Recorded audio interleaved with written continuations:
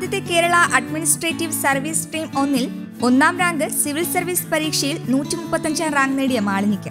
ആലപ്പുഴ ചെട്ടികുളങ്ങര പ്രതിഭയിൽ അഭിഭാഷകനായ കൃഷ്ണകുമാറിന്റെയും റിട്ടയർഡ് അധ്യാപികയായ ശ്രീലതയുടെയും മകളാണ്. Mavelikkara Vidyadhiraja Vidyapeetham Kayamkulam S N central school എന്നിവിടങ്ങളിലെ പഠനത്തിനു ശേഷം Hyderabad English and foreign languages സർവകലാശാലയിൽ നിന്ന് ഇംഗ്ലീഷിൽ ബിരുദവും ലിംഗ്വിസ്റ്റിക്കിൽ ബിരുദാനന്തര ബിരുദവും നേടി.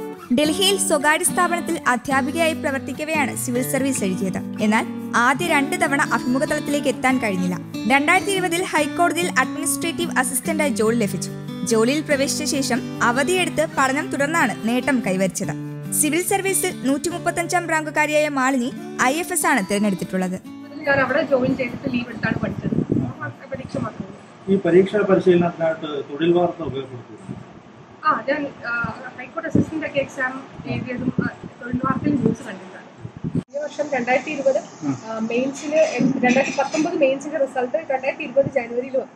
ആ സമയത്താണ് അത് കഴിഞ്ഞ് ഒരു മാസം കഴിഞ്ഞിട്ടായിരുന്നു കെ എസിന്റെ പ്രിലിംസ് അത് ഒരുമിച്ച് പോയി.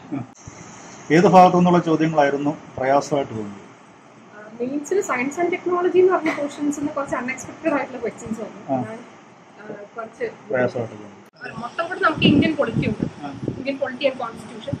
പിന്നെ modern history ancient history medieval Indian history Kerala history art Kerala art and culture പിന്നെ international relation science and technology പിന്നെ ഇന്ത്യ ഇക്കോണമി കേരള ഇക്കോണമി അതിന്റെ അകത്തുനിന്ന് ഞാൻ ഓർഡർ ഉണ്ടാക്കാറില്ല. കമ്പാലേഷൻ മാത്രം വായിച്ചാണ് പഠിക്കാറ്. പിന്നെ പിന്നെ ഞാൻ ഈ പ്രാക്ടീസ് ചെയ്യാറുണ്ട് ഒരുപാട്. ദിവസം രണ്ട് ആൻസർ വെച്ച് എഴുതി നോക്കും. പി എസ് പ്രിലിംസിനാണെങ്കിലും ഒരുപാട് പ്രാക്ടീസ് ചെയ്യണം ഒരുപാട് ടെസ്റ്റ് സീരീസുകൾ അറ്റൻഡ് ചെയ്യുമായിരുന്നു ഇന്റർവ്യൂവിനാണെങ്കിലും ഒരുപാട് മൂക്ക് ഇന്റർവ്യൂസ് കൊടുത്തിട്ടാണ് ന്യൂസ് ഡെസ്ക് കേരള കൗമുദി.